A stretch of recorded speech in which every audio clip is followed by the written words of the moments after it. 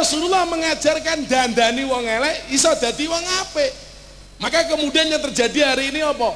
Kata kiai ini ku awale mboten apik tapi akhirnya mati dalam keadaan apik.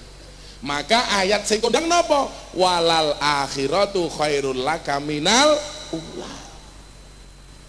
Kula duwe bocah bosok uripe tapi matine apik. Almarhum Gunardi Joko Lupito. Teng dunia preman terkenal dengan nama Gunjek. Niku sing tau nodong pistol kula ping pindho di pertama kali ngaji teng Sarkem. Kowe macem-macem tak pateni. Pistol niku podonge teng das kula ngoten. Kowe macem-macem tak pateni.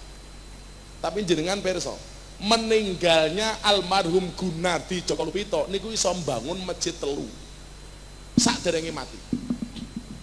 Ketua MWCNU iso mbangun masjid telu. Wah. Pengajiannya golek proposal ngalor ngidul.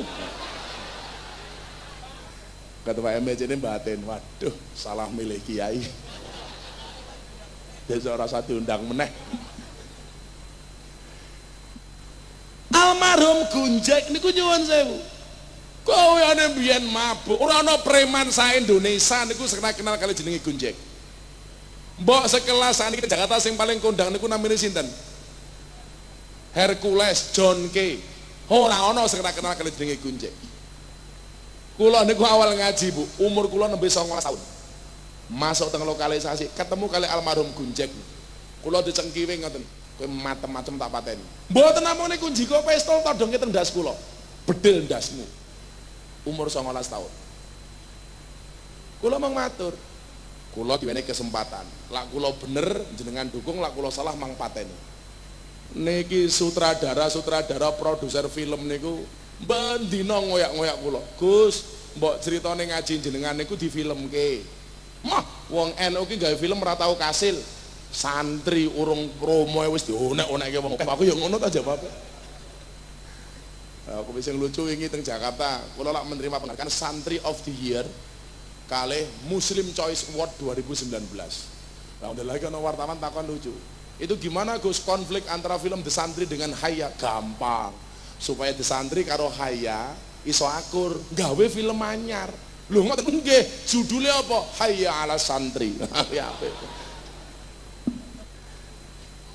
Jadi wong NU ki menyikapi masalah Pak santai soalnya Islamnya Islam tawassut wasatiyah yang memahami soal tasamuh dan lain sebagainya. Karena kanjeng Nabi ngajar kayak ngoten, maka nyuwun sewu.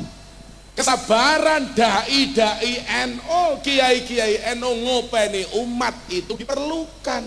Supaya apa? Orang yang awalnya tidak baik, matinya bisa dalam keadaan baik.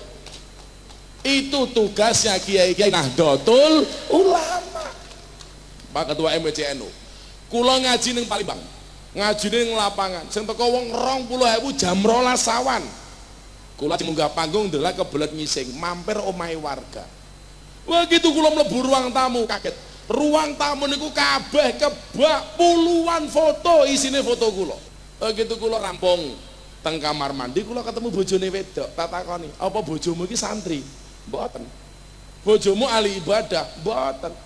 Bojo kula niku mbahe preman teng mriki, tapi ngefan kalian jenengan. Lah wis mabuk jam 12 bengi mulih mabuk ning omah niku mesti nonton YouTube pengajiane jenengan dalam keadaan mabuk. Jadi mabuk karo ndelok pengajian guyu-guyu dhewe. Kula diduduhi videone kula ya melu guyu. Waduh sing kentir sapa ya aku. Ternyata wong elek niku ya duwe keinginan pengen dadi apik.